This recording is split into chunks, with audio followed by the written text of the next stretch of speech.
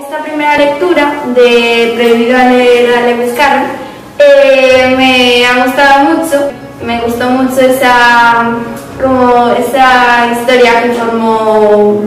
el actor Diego Arboleda eh, de eh, meter la de Alicia en el País de las Maravillas dentro de su relato y me parece muy interesante. Yo recomendaría este libro mil veces porque si le gustan las temáticas como muy misteriosas, divertidas, pues sí lo recomendaría porque está súper bonito. Le, prohibían leer a, a, Lewis Carroll porque bueno, la niña estaba obsesionada con los personajes del país Pues yo no sabía que había tantas, tantas versiones de La Alicia en el País de las Maravillas. Solo me había visto la película y bueno, me gustó. eh, pues a mí los personajes de el País de las Maravillas eh, me gustaron porque había, bueno, todos en general eran muy divertidos y cada uno tenía como su cosa que lo hacía que fuera particular eh, mi personaje favorito es Eugene porque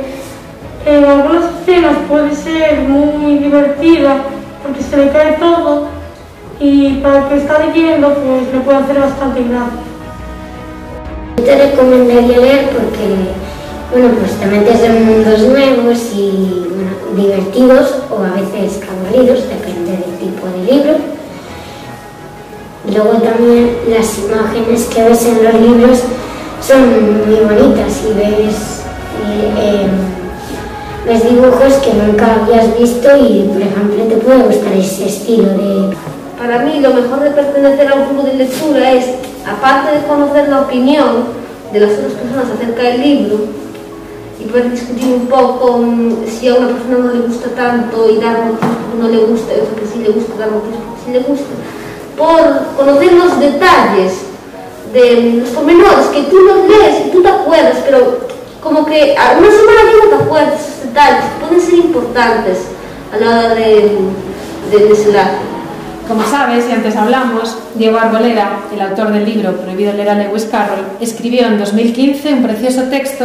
para el pregón del Día de las Bibliotecas, en el que hablaba sobre Alicia y un conejo blanco que siempre tenía prisa, excepto cuando entraba en una biblioteca. Este texto termina diciendo, un lugar nunca podrá llamarse País de las Maravillas si entre sus maravillas no se encuentra una biblioteca. La pregunta que queremos hacerte a ti, Conchi, es, ¿tú qué opinas?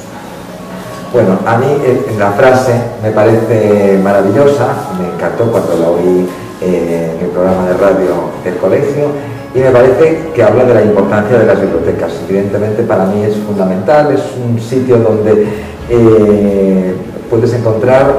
mil historias, mil, cuentos, mil,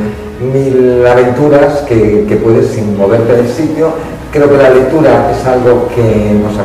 tendría que acompañar toda la vida, desde pequeños hasta mayores, y que todo, todas las personas tenemos un, libro. A veces lo que es difícil, por eso a veces los niños dicen que no les gusta mucho leer, o alguna persona, yo creo porque no encontraron su libro, el libro que les